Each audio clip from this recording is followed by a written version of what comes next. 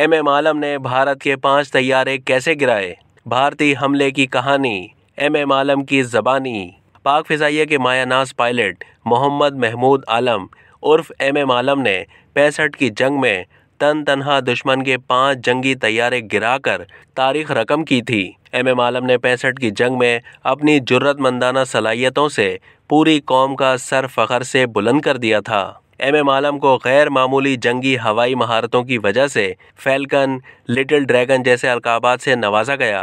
1965 की जंग में एक मिनट में सबसे ज़्यादा भारतीय तैयारे गिराने का रिकॉर्ड बनाने वाले मोहम्मद महमूद आलम ने वफात से पहले जंग का अहवाल अपने एक इंटरव्यू में सुनाया। उन्होंने अपने एक इंटरव्यू में बताया कि भारत ने जब हमारे एयरबेस पर हमला किया, उस वक्त हम लोग यूनिफॉर्म पहने जहाज़ में तैयार बैठे थे कि मेरी आँख लग गई।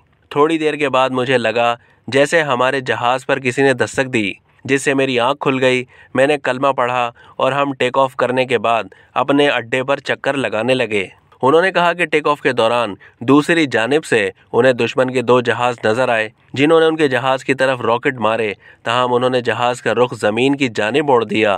उन्होंने बताया कि अजान का वक्त था, सूरज तुलू नहीं हुआ था, जिसके बायस उन्हें दुश्मन का मुकाबला करने में मुश्किल पेश आई। लेकिन उन्होंने और उनके विंग मैन ने दुश्मन का ताकुब किया, जो 50 या 100 फीट बुलंदी पर परवास कर रहे थे। उन्होंने अपनी जुर्रत और बहादुरी का किस्सा सुनाते हुए कहा कि उन्होंने जब दुश्मन पर पहला मिसाइल मारा तो वह ज़मीन पर लगा। उन्होंने बताया कि दूसरी बार जब उन्हें जहाज़ नज़र आया तो उन्होंने निशाना बांधते हुए मिसाइल मारा और दुश्मन के जहाज़ के इर्द गिर्द आग लगी देखी। उन्होंने कहा कि मुझे बकिया चार जहाज़ नज़र नहीं आ रहे थे, मगर जब उन्होंने दरिया चुनाव को अबूर किया तो उन्होंने दुश्मन के जहाज़ों को बहुत नीचे परवास करते देखा। वो चारों एक ही दायरे में घूम रहे थे, जिसके बाद अल्लाह के हुक्म से वो गिरा भी दिए। उन्होंने मजीद कहा कि मैं समझता हूँ, पाँच जहाज़ मार गिराना एक मुआजा था। अल्लाह ने मुझे मौका दिया, वरना ये होता है कि जहाज़ परवास करके चले जाते हैं। दस दफ़ा मुठ भीड़ हो तो उसमें एक, दो या ज़्यादा से ज़्यादा तीन जहाज़ गिरा लिए जाते हैं। इकट्ठे पाँच जहाज़ नहीं। मैं समझता हूँ अल्लाह ताला ने मेरा जज्बा देखते हुए मुझे ये एजाज़ बख्शा। एम एम आलम ने बताया कि उस वक्त सूरज तुलू हो रहा था और एयरबेस पर अजीब सी कैफियत तारी थी। हमारे पास उस वक्त जहाज़ों की तादाद 150 के करीब थी और दुश्मन के पास 450 जहाज़ थे।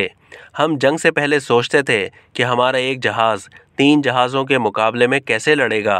उन्होंने ये भी बताया कि लैंड करने के बाद हमने सबसे पहले अल्लाह का शुक्र अदा किया कि उसने हमें फ़तह व नुसरत अता की और हम अपनी सरजमीन पर आए। उसके बाद एयरबेस पर मौजूद तमाम टेक्नीशियंस ने हमें कांधों पर बिठा लिया।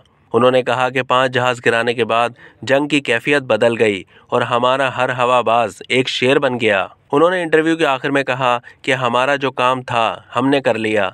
अब नई नस्ल में ऐसे जोश व जज्बे की ज़रूरत है कि जो आज़ादी के लिए और मुल्क की इज़्ज़त और नामूस के लिए इन्हीं पुरानी रिवायतों को दोहराएँ। अब तक के लिए इतना ही। मज़ीद मालूम के लिए डेली जंग के यूट्यूब चैनल को सब्सक्राइब कीजिए।